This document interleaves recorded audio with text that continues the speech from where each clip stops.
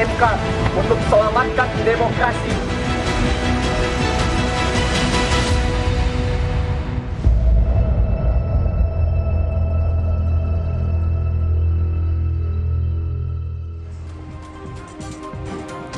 Saudara malam ini Komisi Pemilihan Umum dan Komisi 2 DPR RI akan menggelar rapat konsinyering soal peraturan KPU terkait pilkada.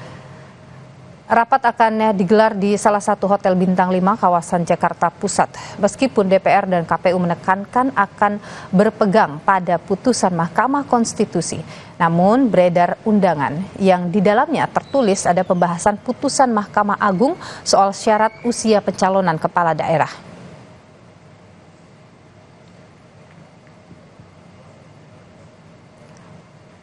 Dalam undangan dengan KOP Komisi Pemilihan Umum tertanggal 22 Agustus 2024 tertulis undangan ditujukan kepada pimpinan dan anggota Komisi 2 DPR. Tercantum pula acara dalam rangka kegiatan konsinyering pembahasan putusan Mahkamah Agung nomor 23 P tahun 2024. Juga membahas putusan Mahkamah Agung nomor 23 P itu.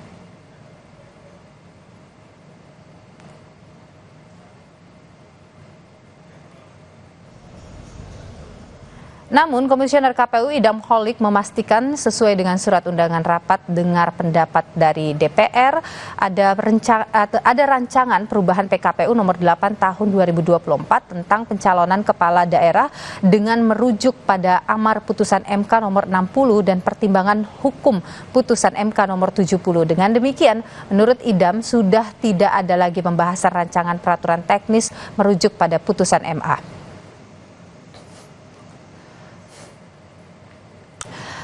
Benar sekali ada rapat konsinyering, tetapi tidak ada agenda pembahasan putusan MA, kata Idam Holik, Komisioner KPU RI. Ketua Komisi 2 DPR RI Ahmad Doli Kurnia menegaskan peraturan Mahkamah Konstitusi akan jadi rujukan KPU dalam menyusun PKPU terkait pilkada. Doli menyebut sebelum rapat konsultasi Senin nanti, Sabtu malam ini akan ada konsinyering antara Komisi 2 DPR dan KPU RI. Peraturan perundangan yang terakhir. Kalau rujukan undang-undangnya adalah putusan Mahkamah Konstitusi dan itu yang menjadi rujukan dari KPU dan Bawaslu membuat turunan eh, peraturannya di PKPU dan Perbawaslu. Setiap mau membahas PKPU itu ada konsinyering. Besok malam Komisi 2 akan konsinyering dengan eh, teman-teman penyelenggara pemilu. Jadi nanti insya Allah hari Senin tinggal disahkan saja. Presiden Joko Widodo menegaskan bahwa pemerintah akan mengikuti putusan Mahkamah Konstitusi terkait dengan syarat batas usia calon kepala daerah dan syarat ambang batas pencalonan kepala daerah untuk Pilkada 2024. Presiden Jokowi berjanji tidak akan mengeluarkan peraturan pemerintah pengganti undang-undang atau perpu terkait dengan pilkada setelah batalnya rencana DPR revisi undang-undang pilkada. Uh, itu wilayah legislatif wilayah DPR ya. Pemerintah, sikap pemerintah akan seperti apa Pak? Pemerintah akan mengikuti putusan MK berarti Iya. ada perpu nggak Pak? Karena dari kemarin isunya kuat sekali Pak. Nggak ada. Gimana Pak? Pikiran aja nggak ada masa kumpul. Apa? Pak ada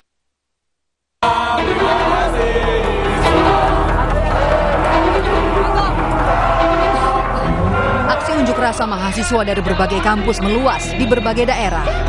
Mahasiswa turun berorasi menolak revisi Undang-Undang Pilkada dan mengancam langkah DPR yang berniat mengabaikan putusan MK soal Pilkada. Di kota Cirebon, Jawa Barat, aksi demo mahasiswa sempat terlibat saling dorong dengan polisi karena mahasiswa mencoba masuk untuk bertemu anggota DPRD.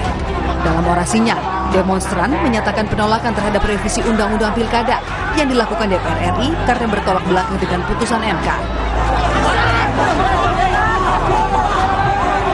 Penolakan terhadap revisi Undang-Undang Pilkada oleh DPR juga disuarakan mahasiswa di depan gedung DPRD Indramayu.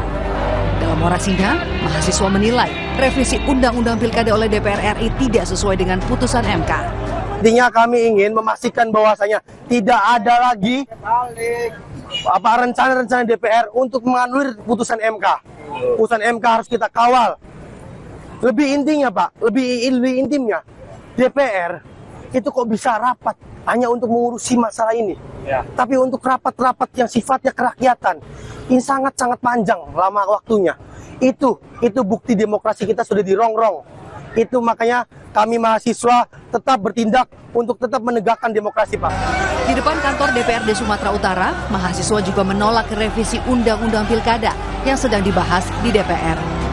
Mahasiswa menilai undang-undang yang dibuat tidak sesuai dengan putusan MK dan harus dibatalkan. dengan putusan Mahkamah Konstitusi yang sebenarnya harusnya sudah final dan sudah mengikat. Artinya siapa pun bisa menerka itu, tidak perlu dijelaskan. Dan bahkan kalau kita bisa boleh bilang anak SMP pun sudah mengerti tentang itu. Dan kita bersama demi kesejahteraan, demi keadilan, demi demokrasi. Aksi mahasiswa tak berhenti meski DPR mengatakan telah membatalkan revisi Undang-Undang Pilkada. Kemarin, mahasiswa melakukan aksi di depan gedung KPU Jakarta. Mahasiswa menuntut Komisi Pemilihan Umum segera menerbitkan peraturan KPU sesuai dengan putusan MK, terutama terkait batas usia minimal hingga ambang batas parpol pengusung pasangan calon kepala daerah. Tim Liputan, Kompas TV.